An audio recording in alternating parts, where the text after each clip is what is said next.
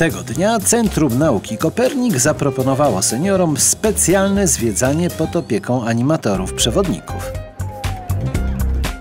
W dniu babci i dziadka na gości centrum czekały dodatkowe atrakcje. Dziadkowie i babcie wraz z wnukami, ale również i bez nich z zainteresowaniem oglądali centrum. Przez cały dzień specjalne rodzinne warsztaty i projekcje filmowe wzbudzały dodatkowe emocje.